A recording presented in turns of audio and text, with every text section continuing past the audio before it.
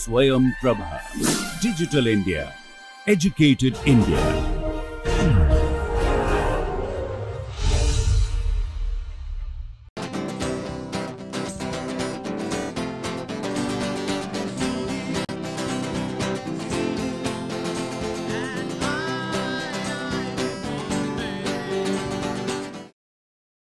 Hello everyone, welcome back. Today we will discuss beta migratory insertion. We started discussing in the last class. Beta migratory insertion first reported was first reported in 1962. Since then it has revolutionized or it has evolved in a way perhaps no other uh, reaction has been evolved in organometallic chemistry in that fashion um, you know quite a number of reactions like hydroformylation, hydrogenation and Ziegler-Natta polymerization rely on beta migratory insertion as the key step. Let us look back at the beta migratory insertion and today we will discuss little more in depth about beta migratory insertion.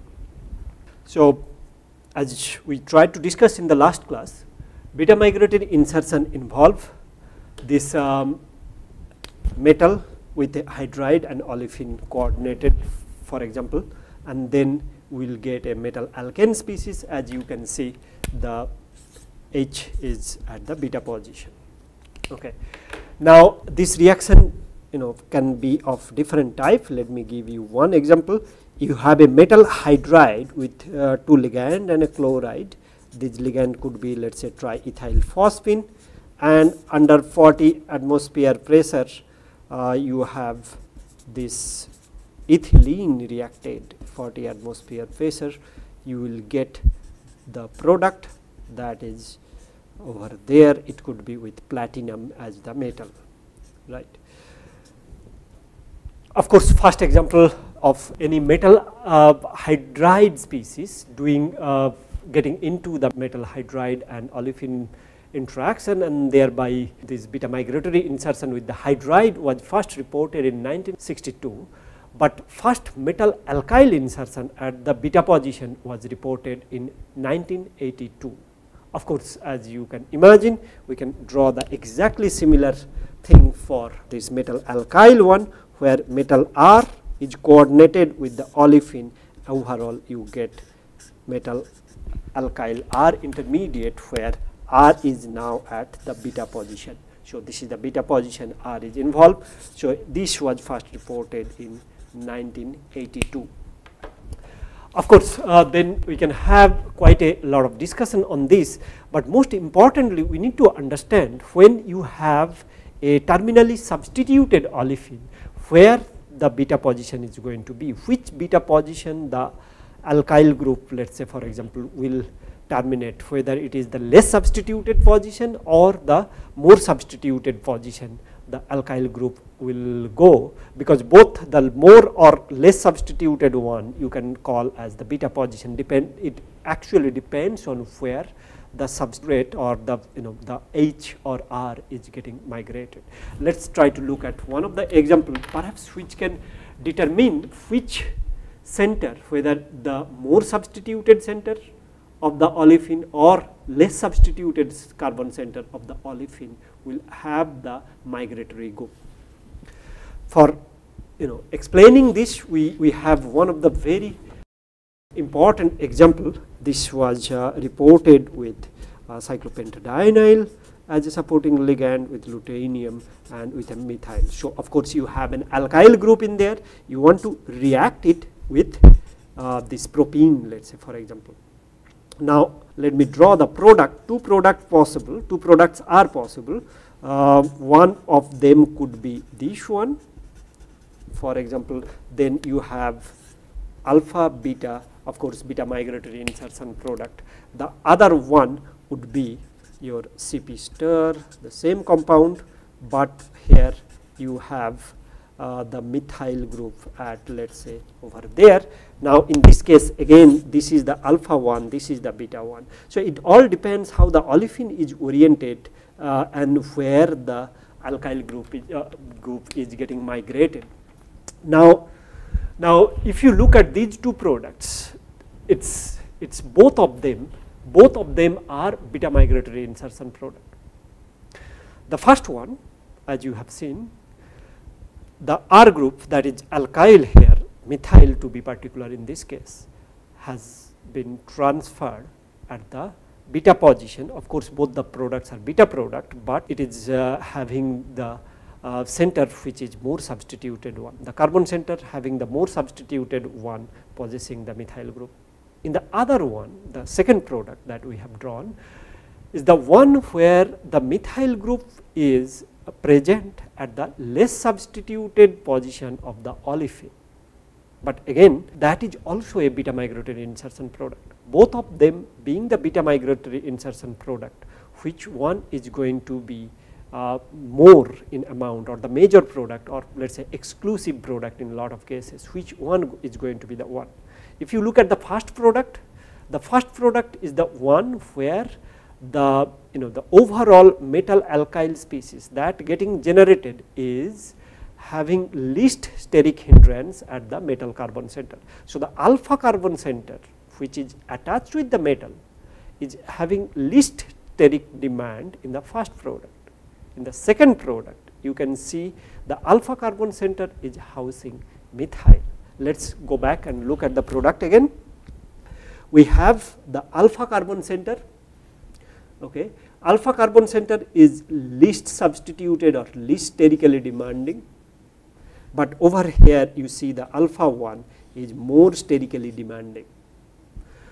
Now, if you look back therefore, the actually the first one the first product which is having the metal carbon center least sterically demanding is the one that going to be preferred. The first product is going to be preferred you know of course in some cases you can get nearly exclusive product formation. This is mainly due to the fact that metal alkyl species are stable if the alpha carbon center is less sterically demanding that makes sense right. So, let us try to write down that fact. So, we have generally of course, you know there could be different other factor involved generally we have primary metal carbon that means primary one primary metal carbon complexes or metal alkyl complexes uh, is preferred over uh, secondary metal carbon complexes. So, that is in terms of the stability this is the secondary one this is the primary one primary secondary primary is more preferred. Of course, uh, you know that that that trend will follow primary, secondary, tertiary as you can see more and more steric demand is happening and therefore, we will get uh, get less and less product formation. Now, as we try to discuss whether the hydride migration or alkyl migration, which one if you have a competitive situation, which one is more likely, which one is facile let us say. Now, that is a very tricky experiment to do. You have to make sure that everything is remained as constant as possible, as similar as possible, then only you will be able to make some judgment about whether hydride transfer is faster or alkyl transfer is faster right. That is literally a tricky experiment to do, but of course, scientist has got around this problem and they have come up with a really beautiful design of the experiment. Let me try to discuss that particular one with you. So, that will be on migratory aptitude. Which group that is hydride or alkyl migrates faster when there is a competitive situation? Or how will you prove that one is faster over the other? Are they working in a similar fashion exactly same rate? Of course you can imagine that they are not but let us try to see the example one example with this. So the migratory aptitude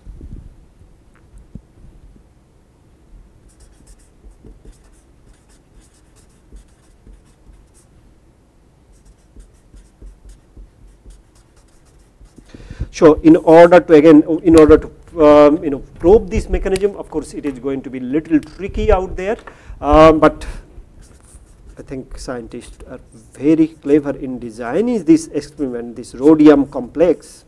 Okay. Now, let me write down the experiment and I will try to explain it uh, along with it. So, this is the rhodium complex with the olefin coordinated. Now, you have a protonation, okay. of course, you know proton will bind with the metal center and overall you will have Cp star L rhodium and olefin coordination along with the hydride species in there and this is a plus complex right. Now of course from this intermediate you can expect that you know your product formation will be going on and in this case the product would be the one where rhodium is having the alkyl group. So once again alpha beta at the beta position this hydride this hydride is getting migrated right. So, again this will be at complex. Now, if you do the electron count I should have done that initially this should be 18 electron count and this ligand could be this trimethoxyphosphine and Cp star as you know is uh, C5Me5 right. So, this is a beta migratory insertion where you have the hydride transferring to the beta position of this olefin. So, alpha beta beta position hydride is getting transferred again uh, this is an 18 electron complex and so on. Now, once you have this olefin excess okay. Now, this reaction can be done at minus 30 degree C this is important to note this reaction can be done at minus 30 degree C. Now, delta G for this reaction is going to be nearly approximately 12 kcal per mole kcal per mole. So, this is 12 kcal per mole very very nice, but if you do this reaction in presence of excess you know excess olefin what you could expect that you know let us say you are doing further slowing down the reaction or further uh, further doing the reaction at a uh, lower temperature where you will be able to bind with the another excess equivalent of olefin then the product as you can imagine will be. So, after minus 30 degree C you cool down faster to minus minus 80 degree C the product you are going to expect or you are going to get is uh, the one where you have the olefin coordinated with this alkyl intermediate. Now, of course, from there on if you try to heat it at room temperature uh, the reaction will be then Cp star L rhodium and you are going to get these um, beta migratory insertion this whole group become alkyl then this is alpha beta and the whole group migrates. So, what we have seen so far in this reaction we have started with a rhodium complex we have started with a rhodium complex that has olefin coordination in it. We tried to do the reaction first at minus 30 degree C which will ensure that olefin will coordinate with the rhodium okay. and also the protonation will occur. So, the protonation will give you the, uh, the intermediate where beta migratory insertion is possible. Now, that intermediate if you try to do the uh, reaction further it will be of course the reaction will go on further you, you will get the beta migratory insertion of the hydride and the delta G double dagger for this reaction is found out to be something like 12 kcal per mole right at minus 30 degree C. Now, from that intermediate at minus 30 degree C which is a metal alkyl intermediate if you further cool down the reaction mixture and if you, you are doing the reaction let us say you are doing the reaction in presence of excess olefin what will happen that the metal alkyl species will have coordination with olefin. So, olefin coordinated metal alkyl species will be generated at minus 80 degree C. Subsequently, if you heat that up okay, at room temperature, then so, 23 degrees centigrade let us say for example is the room temperature that at room temperature you will be able to get that alkyl group the whole alkyl group ethyl group to be particular migrating into the another olefin that is coordinated at minus 80 degree C giving rise to the product in this particular case it will be a long chain product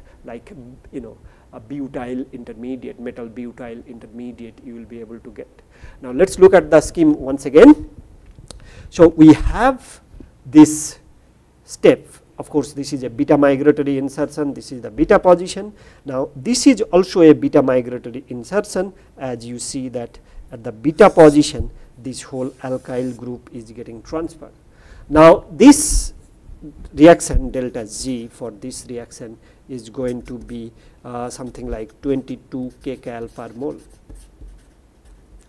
So, if you look at what we are now having is very is a very interesting situation where we can follow the energy profile or energy uh, demand for the alkyl group insertion into the olefin ethyl to be particular ethyl group insertion into the olefin everything else remains exactly same over here we have the this hydride migrating at the beta position. So, if you compare and try to look at this step and the step over here the last step of course, from here on you can further carry on you know, next reaction if, if you want, but of course, you have to again cool it down bind with the olefin you can do further reaction. If you do not do it further let us say you stop it over here. So, you have an intermediate you have a reaction where the hydride can be transferring into the beta position of, of there uh, of the olefin. Same way in this olefin exactly remain everything remains same on the all in place of hydride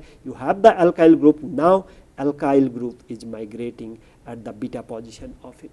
So, it is I think it is a very very good experiment. We have a now then a clear cut example that can compare these two cases right. We have a very clear cut example that can compare these two cases one is hydride migration, beta migratory insertion of an hydride, another is beta migratory insertion of an alkyl in this particular case ethyl. Now, as you have seen the reaction required for the alkyl group the reaction required 23 degree C whereas uh, at low temperature you can do the hydride migration.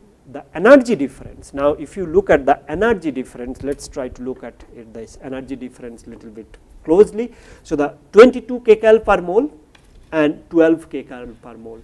Overall then what we have a situation is overall we have a situation it is going to be um, you know the energy difference between these two steps is 22 minus 12 kcal per mole.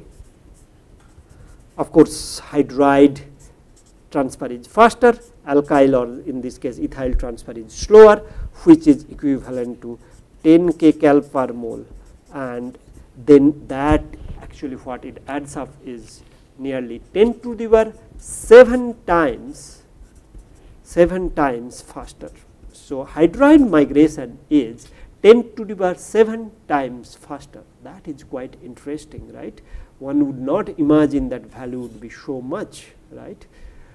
Now, of course, this is happening because after protonation the first form intermediate as you have seen after protonation it is positively charged. So, ethylene can bind and form the adduct very efficiently. In the first case as you have seen after at minus 30 degrees C you have one ethylene binding at lower temperature you have further ethylene binding another ethylene binding. This is possible only because the metals center is becoming more and more positive and their olefin coordination becomes more and more feasible. So, let us try to write down the, um, the uh, equation very clearly. So, you have H migration migration versus R migration and that is going to be your nearly 10 to the power 7 times in general if you like to put in general we will have uh, KH is greater than K alkyl. Okay. So, that is the in general formula.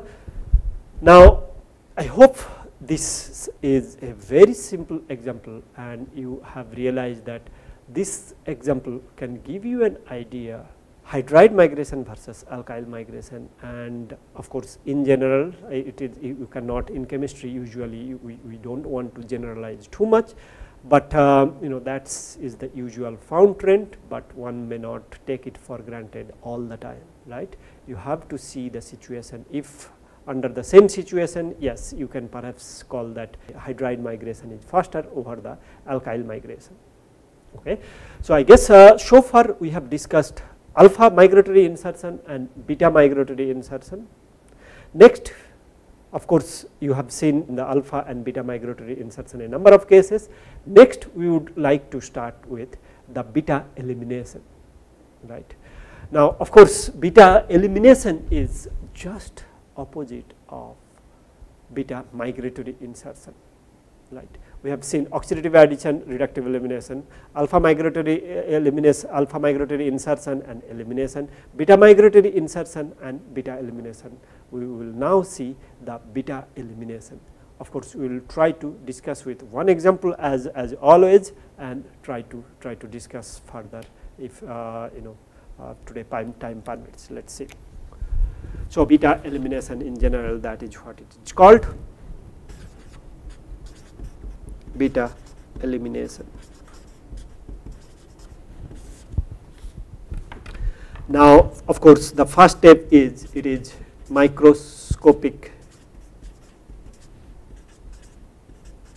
reverse of beta migratory insertion that goes beyond saying at this point and it is a concerted 4 center syn elimination concerted 4 center okay that I think you guys will be able to find out by now syn elimination elimination.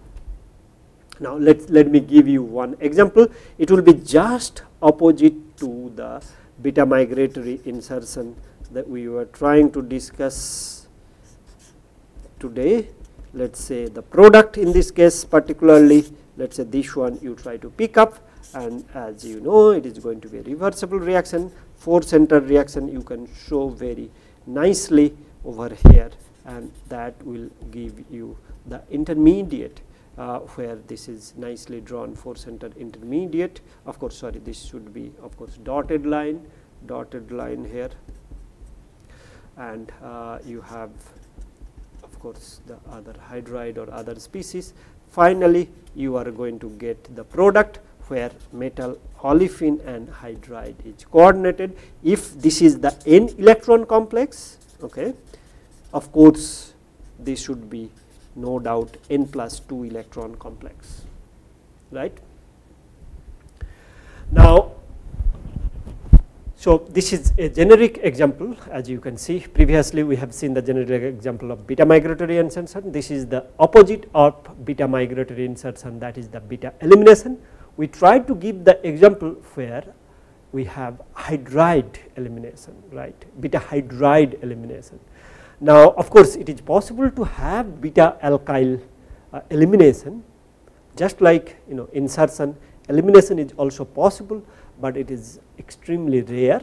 We do not see that often, but of course, under special condition you can special cases you can still promote beta alkyl elimination, but the most common one is the one that we, we see almost routinely and that is the beta hydride elimination. Sometimes it this step could be a nuisance, it can be problematic for a desired reaction let us say where you do not want uh, beta uh, hydride elimination to be occurring and it ends up happening. So, that that potentially causes the problem for your the desired other product formation more valuable product formation. We hopefully will be able to discuss those little later.